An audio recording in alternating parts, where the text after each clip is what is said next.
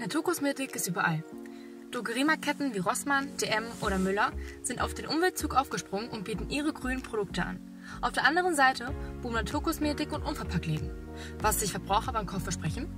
Also ich habe Nutzen von und auch bei der Herstellung werden auf viele Sachen Rücksicht genommen, die vielleicht nicht so gut sind. Also ich gucke halt drauf, ob äh, am liebsten natürlich tierversuchsfrei, aber ansonsten denke ich mir, ist halt irgendwie doch alles das Gleiche. Ne? Ich finde, dass äh, vieles auch halt Marketing ist. Wir Frauen kaufen ja auch meistens die Verpackung.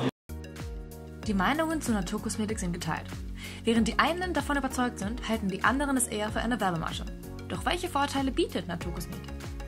Wenn man sich die Inhaltsstoffe anschaut, wird halt in Naturkosmetik keine Chemie oder chemisch veränderte Substanzen verwendet und von daher gehe ich davon aus, dass sie gesünder ist. Der Umsatz für Naturkosmetik boomt und die Nachfrage nimmt stark zu. Doch für Verbraucher stellt sich die Frage, wie viel Natur steckt in Naturkosmetik? Der Verbraucherschutz meint dazu, Naturkosmetik und Biokosmetik sind rechtlich nicht geschützt. Deshalb ist es wichtig, äh, tatsächlich auch bestimmte Label ähm, zu verwenden, die eben garantieren, dass bestimmte äh, Umweltstandards eingehalten werden und eben, äh, was für uns als Verbraucher auch wichtig ist, gesundheitsfreundlich sind. Die bekanntesten sind das BDIH und das True Nature. Ist auf dem Produkt kein Label sichtbar, können Verbraucher auf Apps zurückgreifen, die ihnen bei der Einschätzung der Inhaltsstoffe helfen können. Da haben wir einmal ToxFox vom BUND.